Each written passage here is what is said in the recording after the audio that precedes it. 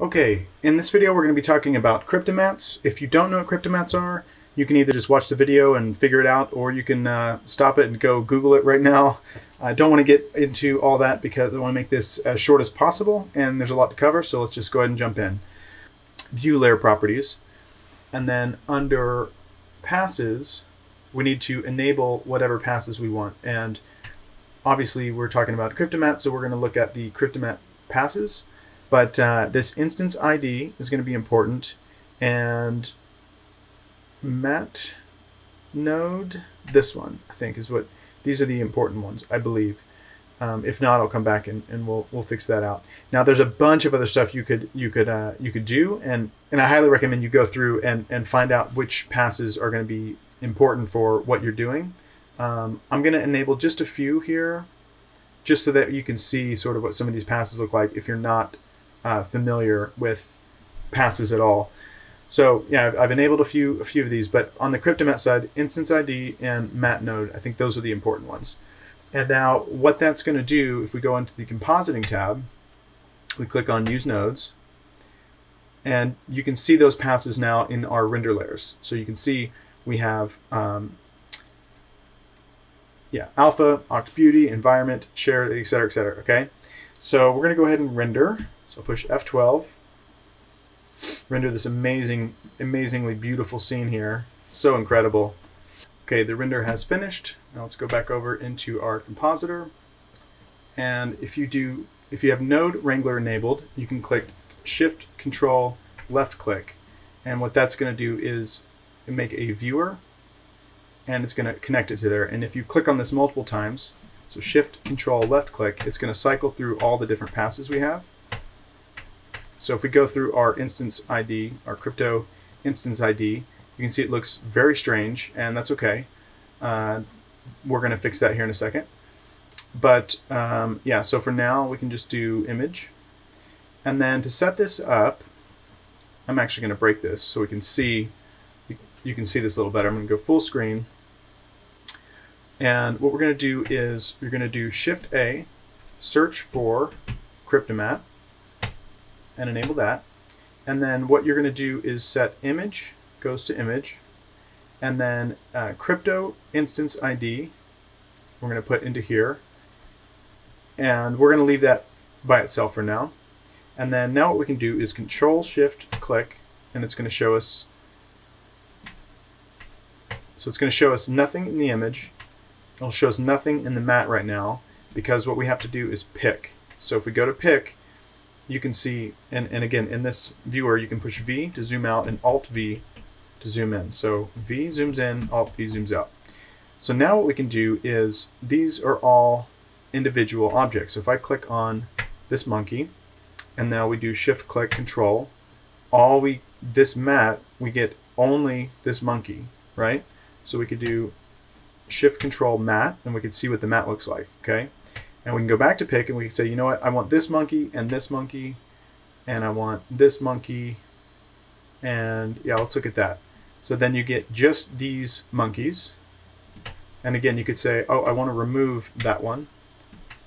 And it, it's removed. So you can see how this is uh, pretty amazing already, I'm sure. You can see uh, how quickly you can do things. And then um, you can duplicate this. So let's go ahead and Shift D to duplicate.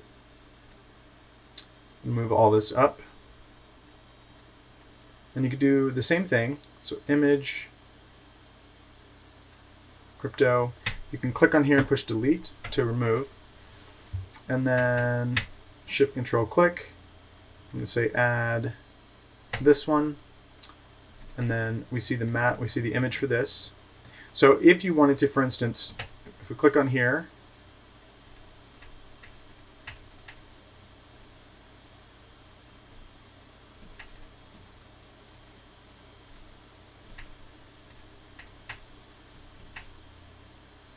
So now we can see, we can have one image that looks like this and one image that looks like this. And you, you may know about this, but you may not. If you do Shift A and then search for File Output, you can you can have this output straight to a file. And you could also, you could do this, you could duplicate this. And you can do the same thing here. And you could have them go to the same place or you can change the name. If you go over to item, properties, so you can have the base path, you could put uh, different things in here. You could also add inputs. So you could have different inputs that go into this file path so you could actually save this out like this. Now you could also, I mean, there's, there's a million different ways you could do this. Uh, you could also just go into the compositor and then from here save, save as, and then save you know your files that way as well. Uh, it kind of just depends on your workflow. Depends on how many you know how crazy you're going to get with these cryptomattes. Um, but let me show you another one. So I'm going to go ahead and delete this one. Now I will duplicate this. So in this one, I'm going to do image to image. In fact, let me just go up here. Um, and then I'm going to do mat node to the first one. I'm going to clear this. And now if we do pick, you can see that uh, we have, there's basically three different materials. And it's, it's hard because they all look a very similar color. But if I click on this monkey, you can see that just these two monkeys have this uh, red material. And if I looked here, you could see like, okay, these are the only two that share that red material. Um, so you could select things by just their material, which should become really interesting as well. So let's go back to pick. We'll remove that. We'll click on this one. And we can see only the green material was selected. And it has nothing to do with the color. It's just these three objects share the exact same material.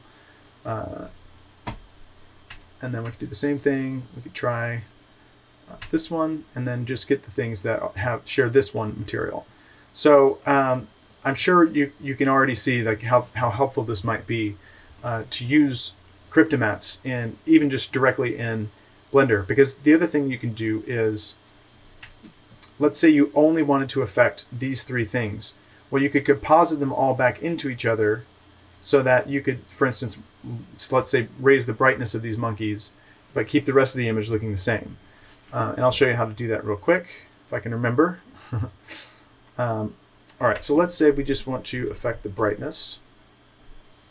So let's go to search and then mix, add a mix node.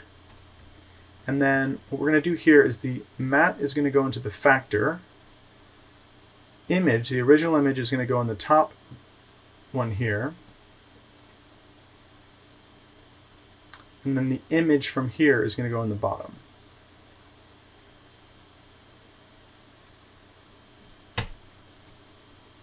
And if we did it right, it shouldn't look any different yet because everything is the same.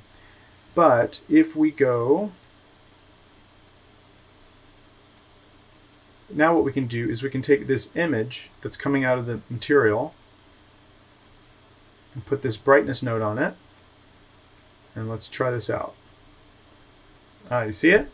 So now this is only affecting those three monkeys. So obviously, you know, this might not be the, the most amazing uh, use case for this, but you could. There's obviously a lot of stuff you could do here. We could do um, color balance, for instance.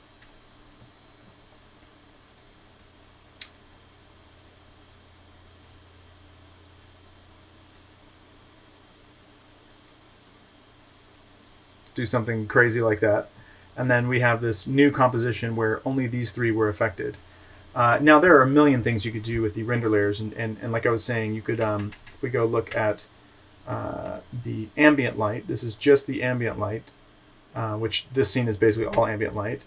Um, the ambient occlusion, you can see the ambient occlusion here, and, and you can mix all these things together and do some really creative stuff, uh, but we're not going to get into all that. All right, make sure to subscribe, and I'll see you next time.